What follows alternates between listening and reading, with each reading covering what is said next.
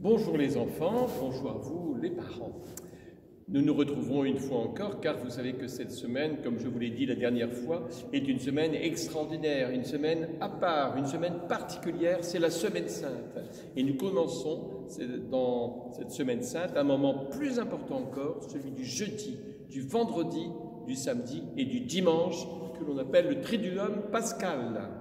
Pascal parce que ça nous mène à Pâques. Alors, euh, ce jeudi, que se passe-t-il? Eh bien, ce jeudi, Saint Jésus, vous vous en rappelez, est arrivé à Jérusalem pour euh, son pèlerinage, pour monter à la ville sainte, et euh, il prend son repas. Il prend un repas que l'on va appeler d'ailleurs le dernier repas, ou encore que l'on appelle la scène. Et au cours de ce repas, Jésus va poser des gestes dont nous nous rappelons encore aujourd'hui, 2000 ans plus tard. Jésus, à un moment, prend du pain. Et avec ce pain, il dit, prenez et mangez, ceci est mon corps, livré pour vous. Et puis, il prendra aussi une coupe de vin.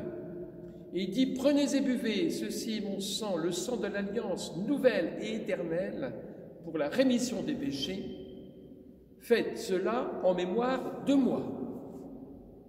Voilà, faisant cela, Jésus a annoncé sa mort. Quand le sang n'est plus dans le corps, si on voit quelqu'un par terre après un accident et beaucoup de sang, on se dit il est mort. Eh bien voilà, Jésus d'un côté dit c'est mon corps, d'un autre côté il dit c'est mon sang. Jésus annonce qu'il va mourir. Jésus annonce qu'il va donner sa vie pour nous.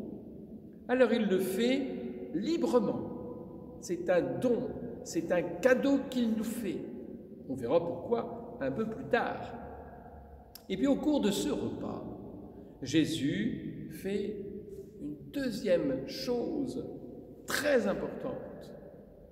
Voilà que Jésus prend un tablier et il se met à laver les pieds de ses disciples. Qu'est-ce que ça veut dire? Eh bien, à l'époque de Jésus, laver les pieds des personnes qui venaient chez vous, c'était prendre soin de ces personnes. Parce que vous savez, elles étaient avec des sandales, et puis sur leurs sandales, dans leurs sandales, il y avait des petits cailloux, de la poussière.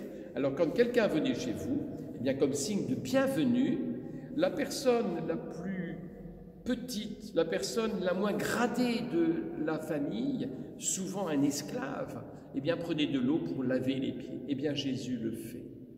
Et il nous dit, c'est un exemple que je vous donne de l'attention que vous devez avoir les uns avec les autres. De ces deux actions différentes, avec le pain et le vin d'un côté, avec le lavement des pieds de l'autre côté, Jésus nous rappelle les deux commandements qu'il nous a déjà donnés. Tu aimeras le Seigneur ton Dieu de tout ton cœur, de toute ton âme, de toute ta force. Et tu aimeras ton prochain comme toi-même. Eh bien voilà que nous sommes invités à aimer Dieu et on lui montre notre amour en refaisant ce que lui-même a fait, c'est la messe, en le priant, en lui disant qu'il est grand, qu'il est beau, qu'il est bon, qu'il est amour, qu'il est bienveillance, que c'est un ami pour moi et qu'il chemine à côté de moi. Et puis le deuxième commandement, tu aimeras ton prochain comme toi-même, eh bien voilà, c'est prendre soin les uns des autres, que ce soit à l'école, que ce soit à la maison, surtout en ce moment avec le confinement, eh bien voilà, le Seigneur nous invite à vivre de ces deux commandements pour être des heureux, pour être déjà eh bien, sur la voie de la sainteté. Alors aujourd'hui, euh, nous accueillons ce beau cadeau, ce cadeau extraordinaire que Dieu nous fait. Il nous a fait le cadeau de la messe, il nous a fait le cadeau de la vie que Dieu nous donne. Alors une petite question avant la fin de cette vidéo. Dans le pain que Jésus prend à ce dernier repas, il manque un ingrédient. Lequel est-ce? Et pourquoi? Cela nous rappelle quel autre événement dans l'Ancien Testament?